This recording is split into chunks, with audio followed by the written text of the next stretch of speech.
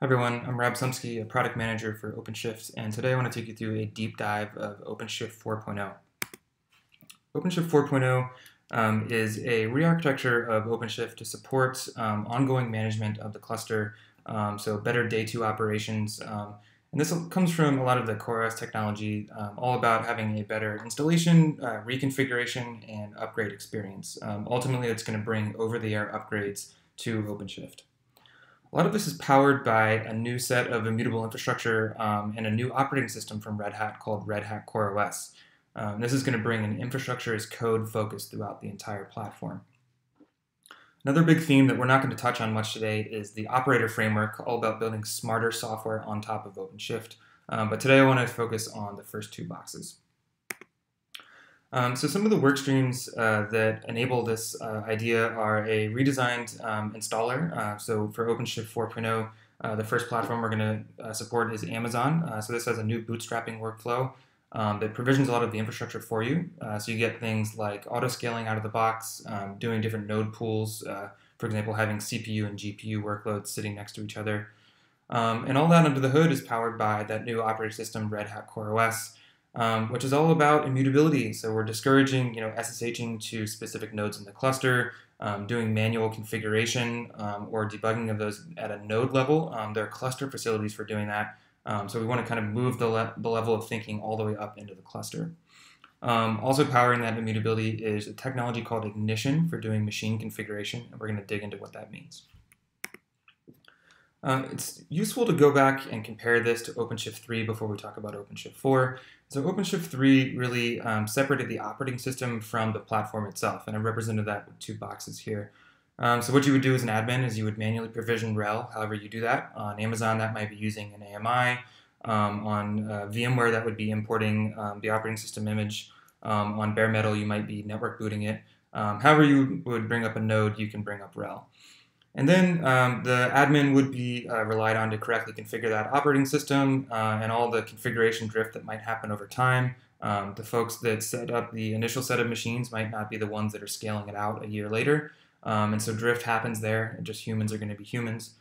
Um, and then uh, when you want to upgrade the platform, uh, OpenShift Ansible um, has facilities for doing that in an automated fashion. Um, and that's going to touch limited parts of the node, you know, maybe um, change the kubelet configuration and some of the other RPMs on disk. Uh, but for the most part, the operating system is kind of an exercise left up to the um, admin to manage over time. And that also leads to drift between these two boxes. So with OpenShift 4, we've just recognized that um, these two boxes are inherently linked. And so we're bringing the operating system under control of the cluster um, and so uh, the, the cluster can manage um, pools of Red Hat uh, CoreOS machines and their configuration and their lifecycle, um, just recognizing that these two uh, are just inherently linked and really important for the stability of the cluster. Um, so for day two management, um, the, the thing is that the cluster needs full control over the nodes to do that. Um, and let's talk about why.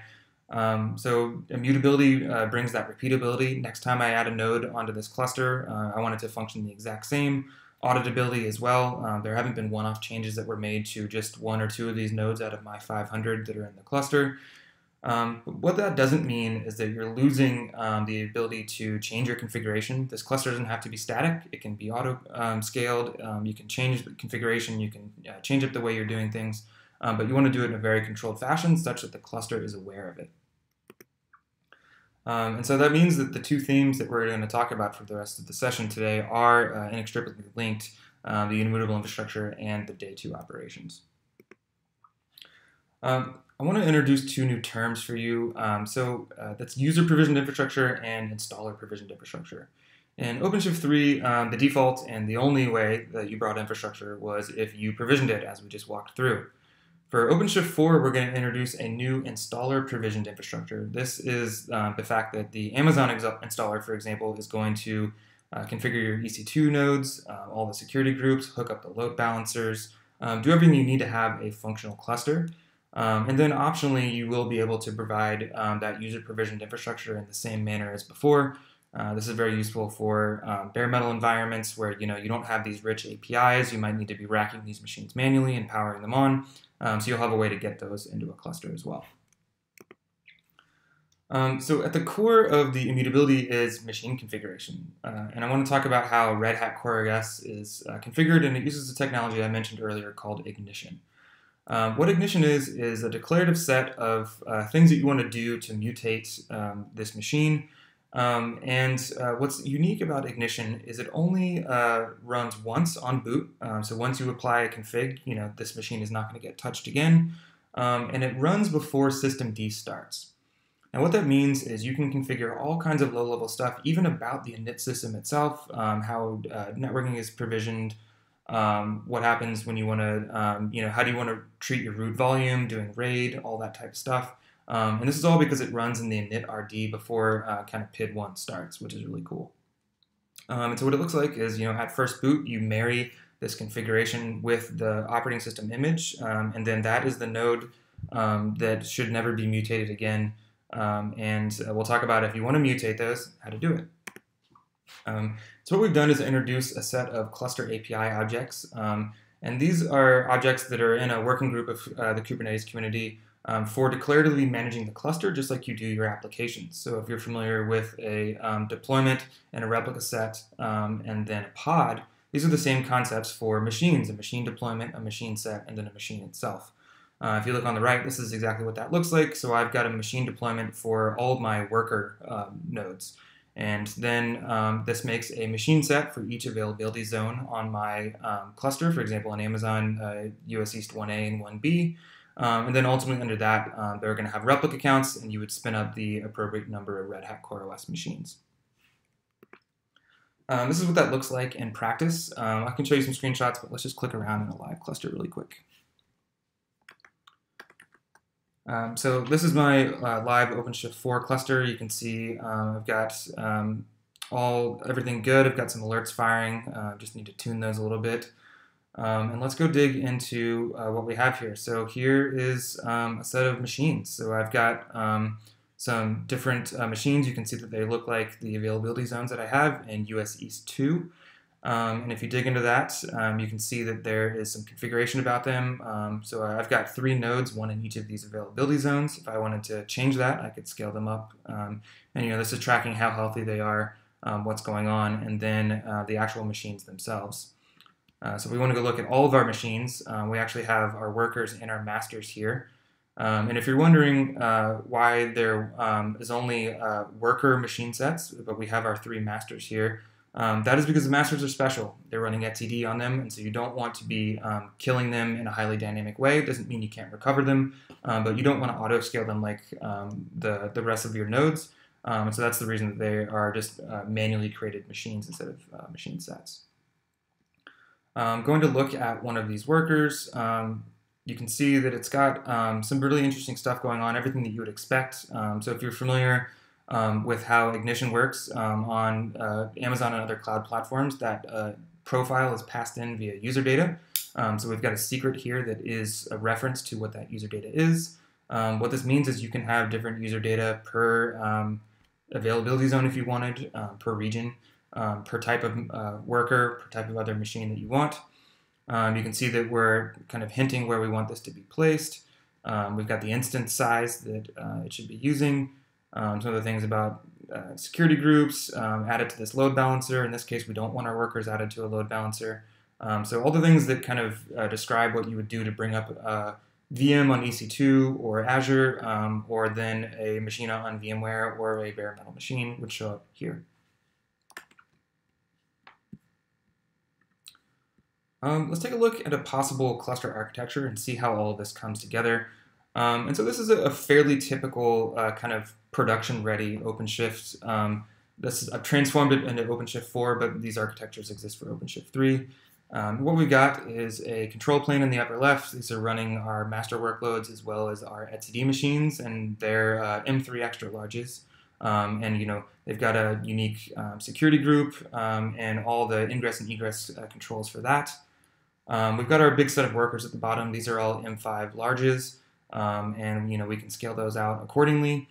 Um, we've also segmented off a few special workloads from kind of those two base um, profiles. We've got logging and monitoring machines, um, and these are some high memory machines to keep our Prometheus and our Elasticsearch databases um, in memory and really performant. Um, so we've got some facilities for steering the workloads to those only. Um, and then we've also got some special routing uh, workloads. Um, these are where we've got a hole punch in our um, security perimeter so that um, we can get internet traffic into um, the cluster. And then that's going to point specifically to all the worker nodes and all the applications that are running on top. Now, the interesting part about this is um, not necessarily this configuration, but it's what it looks like for the machine deployments that we just talked about earlier. Um, and so once again, you've got your specialized control nodes on the top, um, and then you've got just a set of deployments for our workers, our logging and monitoring machines, and our routers. Um, and this is the, the config that you would pass into the OpenShift installer to set up that entire infrastructure. Uh, what this means is you can scale all of these independently. If you wanted to, um, you know, change the number of workers, that's very easy to do. Um, and all this desired state is managed by the cluster. So a machine deployment is a real Kubernetes object. Um, and so you can go say OC edit, um, you know, worker machine deployment and scale it up, scale it down. Um, and then you can also do rolling machine updates, uh, config updates. So what this means uh, for you want to change the size of your uh, logging and monitoring machines, for example, um, you can change that and do a smooth rollout of those. Uh, same for your workers or your routers. Um, and ultimately, anytime you have a special something, um, you can actually carve off machines and have it dedicated to that workload. Uh, so you have a, a, GPU instance type, and so you want just a certain number of workloads to use that GPU. Um, set a machine deployment, add either some taints and tolerations or labels, um, and then steer your workloads accordingly. If you have a workload that needs special security for whatever reason, um, you can lock it down uh, further or keep all those workloads running together. Um, then really a special anything. Doesn't really matter what it is. Um, you can have a machine deployment that's going to steer those workloads um, and keep them isolated or not um, according to what you need. Um, so we kind of talked about the low level stuff. I'll call those machine operators, if you will. Um, so that's our first box. But there's another uh, set of these loops running for doing day two operations, and that is ongoing cluster operators, the things that are going to run uh, the platform itself, the API server, our scheduler, some of the security stack, um, all that good stuff. And then um, what actually powers the over-the-air upgrades is the update operators. Um, so once again, I've got some screenshots, but let's go, take a look at a live cluster here. Um, so let's jump over to the cluster settings page. Um, and here you'll see that we've got this new global configuration area. Um, and you'll see that you know all the main parts of the stack have this configuration, authentication, DNS, image management, uh, some of the infrastructure itself, um, how we're handling ingress, and then OAuth.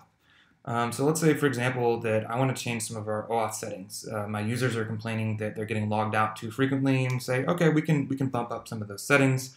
Um, go over here and you can see that this is the canonical source for what that um, uh, token max age should be, for example.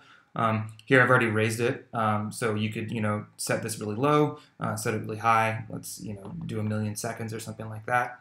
And under the hood, what's happening is if I save this file, there is an operator that's looking for this. It sees the desired state has changed from what it uh, currently was, and will go reconfigure every part of the stack that needs to do that. So if we've got a um, restart two pods. Maybe we need to restart one of them before the other one. Whatever. All that logic is in the operator. Um, so all you need to do is change this uh, this value here, and everything will just work correctly um, and come up. Uh, now you can do this for every type of configuration. Um, so if you want to change uh, the way some of the infrastructure works, some of the ingress works, um, all that is done by operator. Um, and by doing this in the cluster, now that desired state is stored there such that it always knows what's going on. Of course, making that happen under the hood, as I mentioned, are all these cluster operators.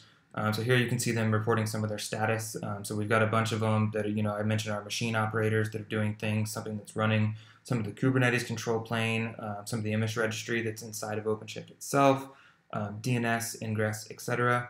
Um, you can here uh, see that we've got some messages for everything's all up to date, uh, for example. Um, and also there's this version column. Um, and so you can see some of this uh, hasn't been filled in yet. This is what we're going to be polishing up over the, the, process of this beta. And the version is really important because, once again, uh, over-the-air upgrades are all about versions. Um, and so an over-the-air upgrade of OpenShift is really just a new set of versions of all of these operators. Um, and so they'll know how to go from one version to another. And so we do a rolling deployment of the operators themselves and they will do everything that needs to happen to the cluster to make it, um, you know, go from OpenShift uh, 4.0.0 to 4.0.1, for example. Um, and we'll be shipping some over-the-air upgrades for OpenShift 4 later in our beta cycle. Uh, so I hope that gave you a good insight into exactly how the machine is brought up, some of the immutability um, that is new to the platform, and why some of that exists, uh, and how that ultimately is going to empower your business, um, have you uh, be able to be successful with new architectures um, and new types of workloads running OpenShift. Thank you for joining.